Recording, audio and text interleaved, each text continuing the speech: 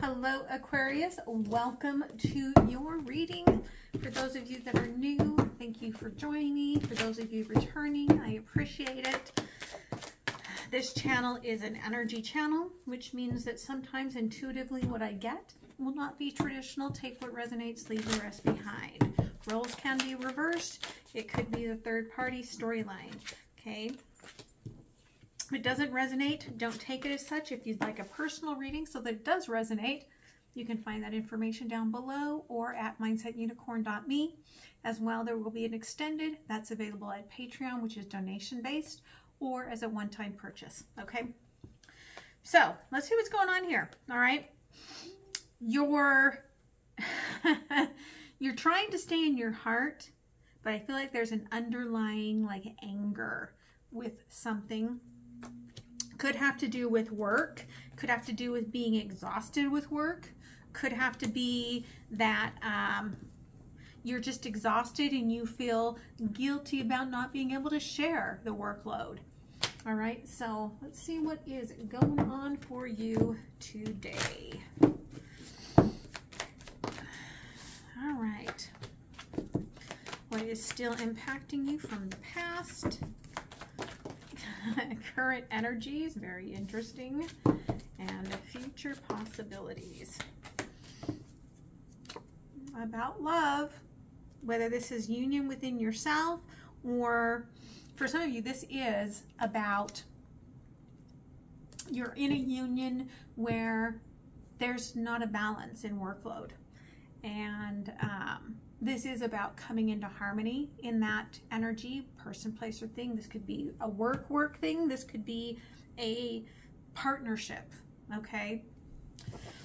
So, current energies, we've got the Queen of Cups crossed by the Page of Pentacles. Again, I'm getting this idea that like it's like love is not enough. There has to be effort put in and quite frankly, you're just tired, right? And things need to transform.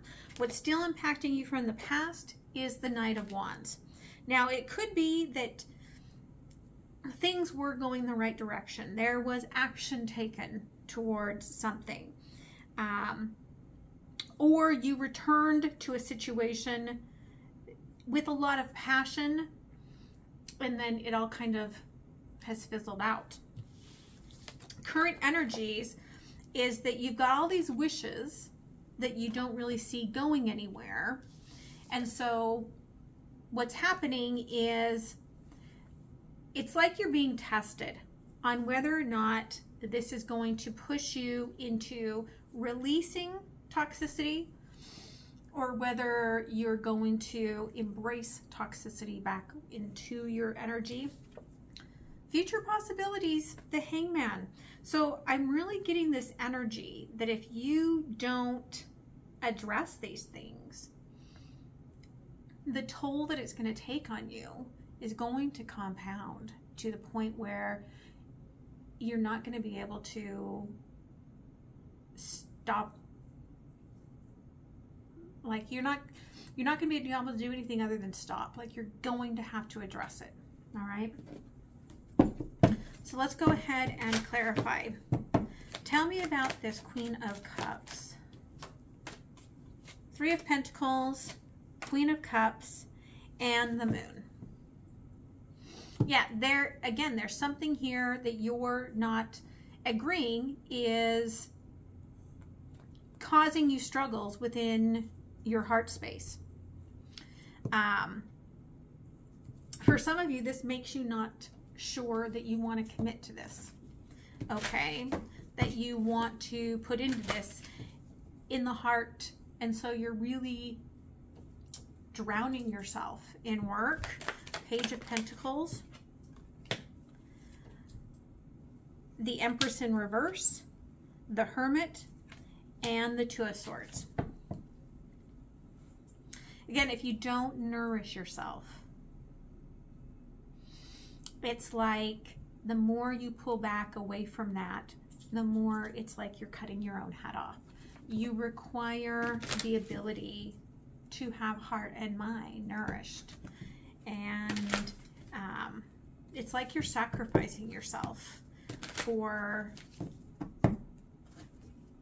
almost like a feeling of unworthiness that you feel about yourself, which is so untrue. Knight of Wands, Eight of Cups in reverse, Six of Cups, and Temperance. Again, I feel like whatever this is, in some way you distanced yourself from this, but you didn't leave it behind. So you could have had a break from, you know, work, or you could have um, kind of pulled your heart out of the relationship and then you came back in because the truth is is that you feel bonded to this and when it's giving back and forth it balances you okay? You feel balanced. The star and the wheel in reverse justice in reverse the world and the ace of wands again spirit is just saying it's not going to balance unless you end this. It's almost like this inability to allow your heart to have space in the room and actually push your heart into this. Six of Wands, Seven of Swords, the Three of Cups, and the King of Swords. Saying that you don't know what your heart wants is completely untrue, but saying that you don't know what your heart wants is what will bring the toxicity back into this. The Hangman, Five of Swords, Two of Cups, and the Eight of Swords. You're afraid to make change. And that's what's hurting you. You know in your heart of hearts what your heart wants. You know in your heart of hearts what your mind wants. Yet you're very disconnected from them. And that is in truth what causes you the most hurt.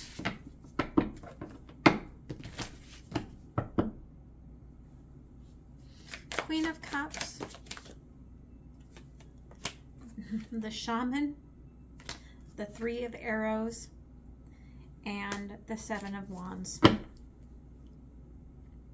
Intuitively, what you know you're trying to do is to make changes without, it's like without hurting anyone. It feels like you're dealing with a very jealous energy, okay? Something that's very competitive in nature. And so you don't want to stoke the fire in this. And so you're trying to just bring everything into, like if I can just find a way to bring it into balance without hurting anyone. Okay. Eight of Cups in reverse. Injustice, which is the Two of Arrows, Six of Stones, and the Seven of Arrows. I think that there was a part of you that thought in the past um, it was time to be completely done with this. But the reason that you couldn't is because of there's a kind of sweetness, there's a kind of like symbiotic productivity that happens between you and this other energy. Again, I think that you're dealing with someone, or this could be you, that has a lot of insecurities. someone needed to hear that. And so, again, I feel like you just didn't want and have not wanted to hurt anyone in the situation. Ace of Wands, Knight of Wands, Three of Stones, and the Devil, which is the Guardian in this deck. The action that you're being called to take is to, it's like stop putting in action. Stop putting in the work. Um, like the way that this is going, this person is like, I'm not letting you out, but where you're at, you're dead. Like there's nothing left to you. And so as you are dealing with this, this very like dark energy comes out of you. Eight of Swords, Knight of Stones, Page of Bows, and the Eight of Bows, right? I think no matter what, you know that little by little, you're going to move towards taking a greater risk. Part of that may be talking to others, getting support, building up that community, and allowing yourself to have a safe space to be able to really speak the truth of what it is that you want because you're feeling like you can't speak your truth here. See what the universe says. Life renewed, the fool, and the lovers. Again, this can be reborn, whether it's in this situation or you can be reborn into a divine love that perhaps is just waiting out there for you. But not unless you make the choice to plant something new. You cannot make this from the things that are not, just aren't working here. Okay.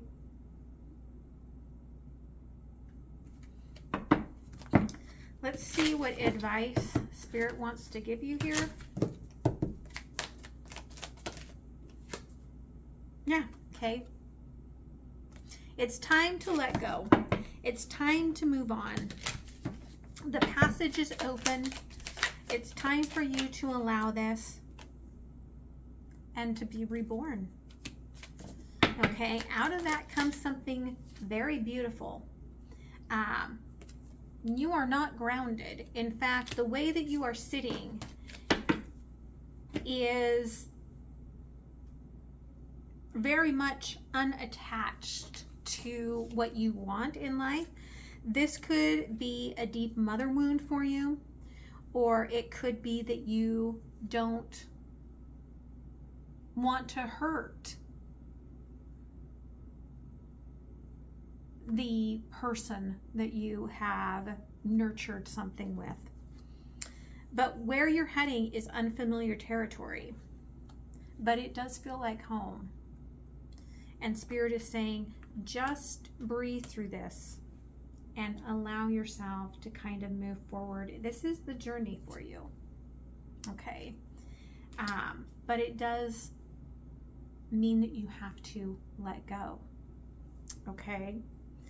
Um, yeah, okay. Let's close this off with an oracle here. Thank you, Spirit. Yeah, all right. Um, you may not want to release this because there's so much passion that you associate with it. But um, letting go and allowing yourself to grow really brings you that balance within yourself. And um, it doesn't feel like you are going to get there otherwise.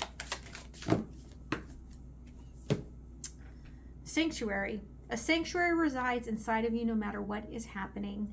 That inner temple beckons you to enter. Take a deep breath. Again, Spirit keeps talking about this. And sit down on the throne of your own heart. You've got to go into your heart. For some of you, that means you have to find somewhere safe to be in your heart. That means perhaps finding a group that you can talk to, a place where you can connect. Um, I did that online during the pandemic. I um, found a safe space and it did allow me to start healing and to recognize what it was that I wanted and what wasn't working. Okay, so um, I hope that that helps you. Um, this does remind me of the uh, new all-in-one serum tincture that I've just created. I'll let you guys know when I've got that first small batch ready to launch. Um, but it was something that I never thought I would do. But I am doing what I always, somewhere in my heart, knew that there was a part of me wanting something like that. So I feel like I'm sharing that with you because Spirit really wants you to know that your heart always knows what it is that you want and where you're going. All right. So I'm going to move to the extended. I'm going to look at this direction of where you're going and see what Spirit wants to share with that. And that link will be down below. If not, I hope that you guys have a beautiful week and that you don't forget to like, share, comment, and subscribe and help others find the message. All right. Much love. Bye.